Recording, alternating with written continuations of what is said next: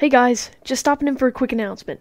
In addition to uploading on YouTube, I now have a Twitch channel. Here, I stream all of the games that I usually play on YouTube, like Minecraft, Dark Souls, and Halo. If any of this sounds good, why not head over to twitch.tv slash NeitoZ underscore. NeitoZ was taken, watch a stream or two, and follow if you like. You can find it by typing the link on screen or by clicking the link below. I try to stream at least five times every week for about two hours. You can catch me around 10 o'clock p.m. Eastern Standard Time. If you want to check it out, that would mean so much to me. Here, you can interact with me and the other users in the chat. You can also watch me get really angry.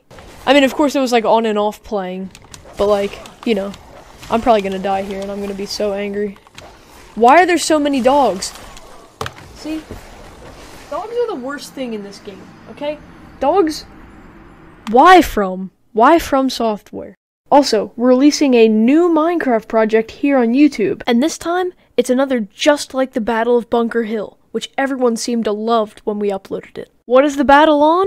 You'll just have to wait and see by subscribing and turning those post notifications on.